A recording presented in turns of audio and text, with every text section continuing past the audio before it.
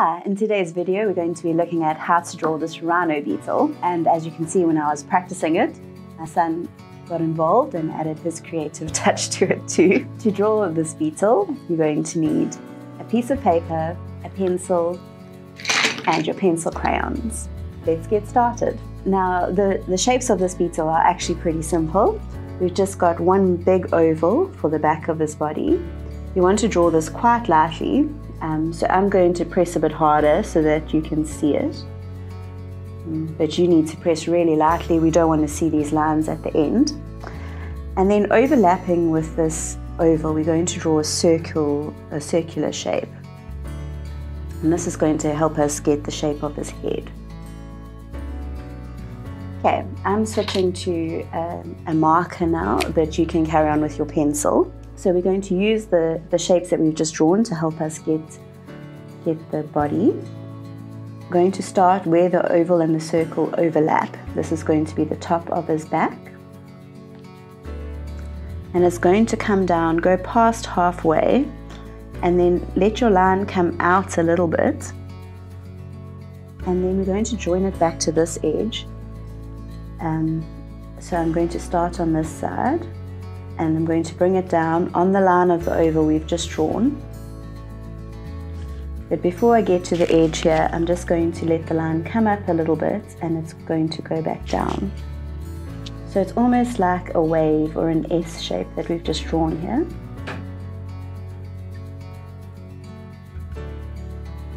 And now we're going to use the circle to help us draw the head. So I'm sure you've noticed that he looks a bit like a rhino, which is how he got his name and we're going to curve it in. I'm going to come just inside my circle to draw the first part of his head, the left hand side of it. And it's going to curve back out. So I've drawn a C shape here. For the bottom of his head, it needs to flatten out a bit. So he hasn't actually got a round head. We're just using the round part of it to help us draw it. So just cut off the bottom part of the circle, draw a line that is straight.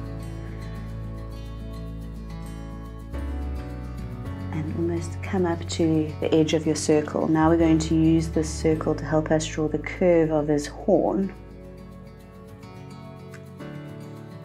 Don't go to halfway up the circle, so stop just shy of that. I'm just going to stop it there because I want to get where I need to finish first. So sometimes when you're drawing a line and you don't know where it's going to end, it can make it a little tricky. So about two thirds of the way along the bottom of the head, there's this little like armor plate that joins the two and it, it it's a curve. Okay, and it ends about halfway up the circle. Okay, so I've drawn this, almost looks like two little waves. And I know that this is where I want my horn to end, over here. So you can see it's got to go from that thick to that thick. You need to bring it around in a nice curve.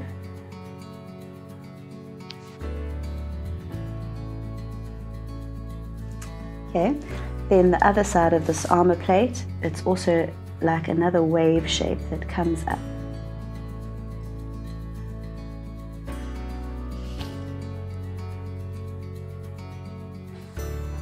Right, so now the rhino beetle has got a hard shell on the top, but he's actually quite soft and furry along the bottom.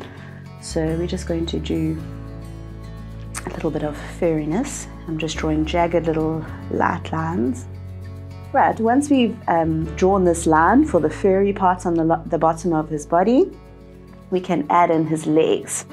Now we're going to start with just little stick legs and we're only drawing the legs on one side of his body. Sometimes with an insect, if you add in both the legs from both sides, it can look really busy at the bottom um, and it can get confusing when you're drawing it. So we're just going to draw three legs, even though he has six.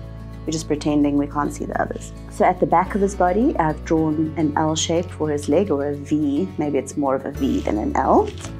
And then where his head and his body meet, we're going to have another leg that's going out to the back, also with a bit of a curve to it.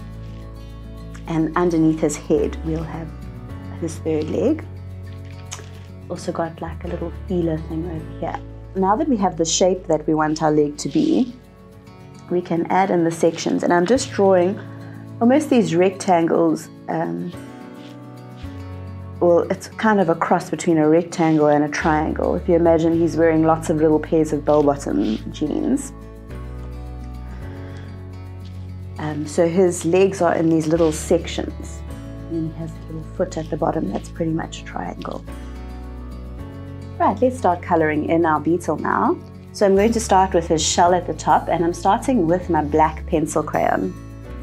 Along the top of his back here, I'm going to just color in and I'm going to press quite hard. So when you're blending pencil crayons, it's a lot like pastels. If you press hard, you don't leave space for other colors. And when you press lightly, then you do leave space for other colors. So we want it to be nice and dark on the top of his back and then slowly press lighter and lighter as you come down. It takes a, a bit of practice to get this gradual shading, but it's just all about how hard you press on the page. Okay, this um, section of the back here, we want to keep it quite light. That's where the light's going to hit the back, so just be careful not to do too much shading over that area. The other place where there's going to be dark shading is where the head meets the body. So there'll be a shadow from the, the head on the body. And then again, just slowly start pressing lighter and lighter. Now, pencil crayons can be very sensitive to the surface underneath them. So to get nice, smooth coloring, you need to make sure that you're pressing on a book, something smooth. The grain of my table is showing through, so I'm just going to put some paper underneath it. So if you're finding your, your colouring is not looking as smooth as you would like, just get a really soft, smooth coloured covered book um, or a couple of pieces of paper and that should make the, the colouring a lot smoother. Yeah, we also, it's almost like we're outlining him now. I'm going to do some dark colouring along the bottom of his body and then lighten it. So lots of people know of the big five, the big five animals in, South, well, in Africa. Uh, but there's also uh, the little five, and the rhino beetle is one of the little five. We also have the elephant shrew, which is like a little mouse with a really long nose. And there's a lion ant and a leopard tortoise and the last one is the buffalo weaver, which is a bird. So you can see here, I've colored in this section and this section pressing on paper, and you can see how much smoother the coloring in is compared to the top section, which I colored on the table. What I'm going to do now is also add a bit of dark shading to the head. Now when you're shading the head, try and leave just a little bit of white on this corner. I'll show you on my finished piece. I've left just a little section of white and it's almost like the light is catching it. It really makes your picture pop. Um, it's not going to show up as well on mine because I've drawn it with a pen. So get as close as you can to the line while still leaving just that little section of white there. Okay, so we're going along the edge here. This middle part is going to be the darkest part, so I'm just going to add a bit more dark shading here. Right, some dark shading along the bottom. Pencil crayons is it's all about working with layers of color. So don't press too hard the first with the first color that you use. You want to be able to blend the colors together. You can always add more black in later. Uh, it's almost like we are just outlining each section of his body. Right, I'm just going to add a little bit more of black shading along the bottom half here. Now what I'm going to do is take a bit of purple and add it in. So I'm starting where I've pressed hard with the black just colouring over it. So as I said earlier, a little bit of purple and blue can be added to anything that you're shading black, just to make it a little bit more interesting and it makes the colour look richer. If you just shade it in with black, it can look a little bit dull and boring. So purple is a slightly darker colour than red, so I'm going to use purple as my darker shading. So I'll add a bit more purple on the bottom of his body and a bit more of the blue on the top of his body. Over this light section here, I'm adding some purple. I'm not pressing hard with the purple, so I'm just doing a lot of really light colouring. And just a small amount of purple along the top often in school we're taught to colour in straight lines or neatly, but actually I found that colours blend together better if you colour in different directions really lightly. Right, I'm going to add my blue now. Then I'm just pressing really lightly here, so I'm not pressing very hard with my blue crayon.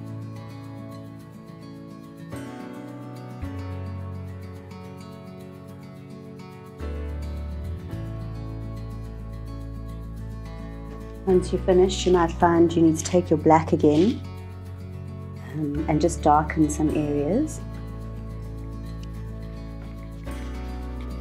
So I'm adding a bit more dark shading around the back here.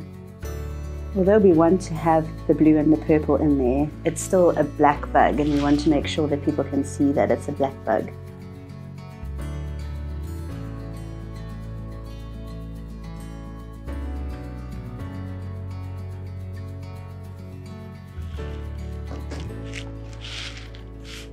To add a bit more blue.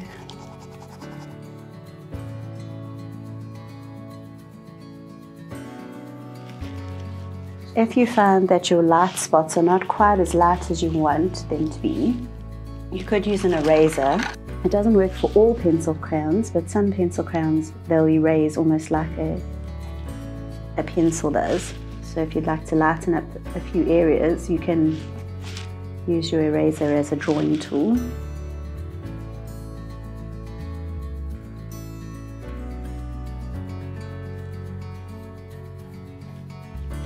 Um, you also, if you still have this line at the top from the circle that helped you draw your head, you can erase that because we don't want to see that at the end. Okay, what we're going to move on to next is this little fluffy bit under his body. Um, so just pick a couple of your brown pencil crayons and we're going to start with your darkest one. That will be directly underneath the bug. Just going to turn my page so that my hand is really comfortable. Do a bit of this dark shading. And from there I'm just going to draw a couple of lines going down.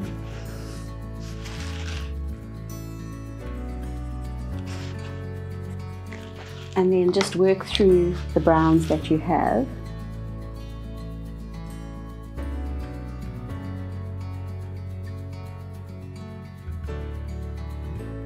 Even using my gold color.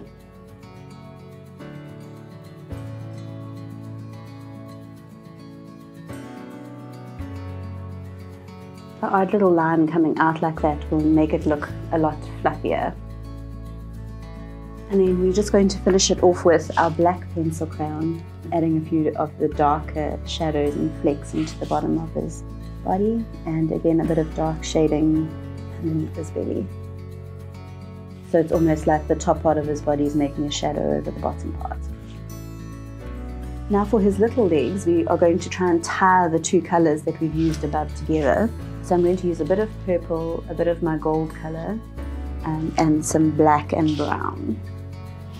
And what I'm going to start doing with my black is just almost outlining each of these little sections of his leg.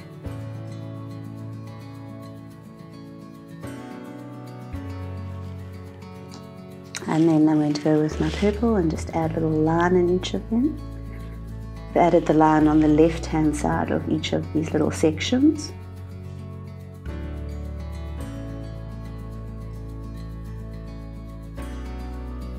A little bit of my golden on the right hand side.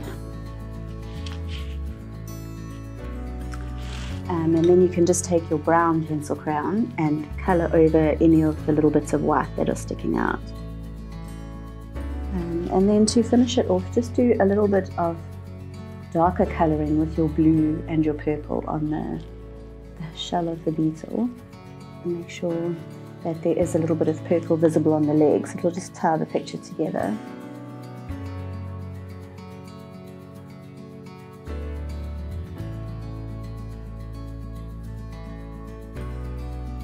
Oopsie, nearly forgot to colour in his little front feeler. I'm Just doing that with a little bit of the purple and the gold colour. And there we have our rhino beetle. If you enjoyed this video, please hit the like button. And if this is your first time watching a Get Started video, why not subscribe to our channel? We put up awesome videos every week. If you have any questions about the little five or um, drawing a rhino beetle, please leave them in the comment section below. And in the comment section below, why don't you let me know which of the baby five you would like to do next.